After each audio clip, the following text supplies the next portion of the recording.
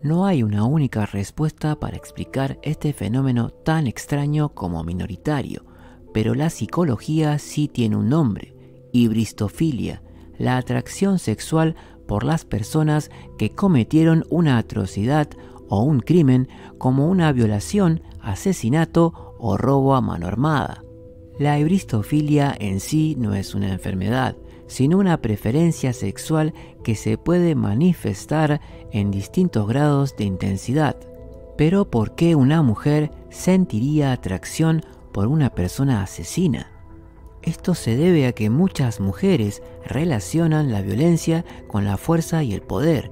Les fascina la popularidad que rodea a la celebridad criminal y en algunos casos es una especie de amor maternal en donde se piensan que pueden ayudarlo a cambiar y protegerlos, cosa que es más bien una fantasía que una realidad en el 99% de los casos.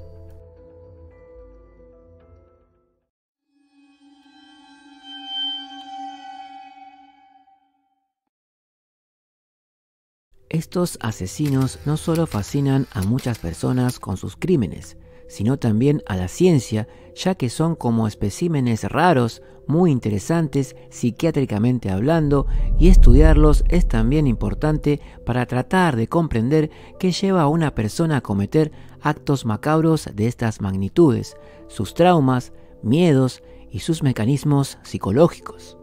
Como era de esperarse, tras el éxito de Monstruo, la vida de Jeffrey Dahmer, muchas personas han romantizado al asesino en serie, por lo que no tardaron en mostrar más empatía por él que por las víctimas. Sin embargo, este fenómeno no es nuevo, pues el afecto de admiración y obsesión que causan este tipo de criminales es más común de lo que se cree. En la década de los 90, luego de que se dieron a conocer los horribles actos de Dahmer, salieron a la luz personas que lo glorificaron como una celebridad y muchas mujeres que decían estar enamoradas de él. Todo apunta a que los individuos que presentan estos comportamientos pueden padecer trastornos o síndromes conductuales. En los casos extremos de fanatismo por los asesinos en serie tenemos la morderabilia, que es el gusto de ciertas personas por coleccionar cosas que pertenecieron a un famoso o un lugar en donde se produjo un hecho importante, en este caso un asesinato, o que esté envuelto en un repugnante envoltorio criminal. Personalmente creo que idolatrar e idealizar a estas personas es completamente retorcido es muy importante el respeto por las víctimas y sus familiares.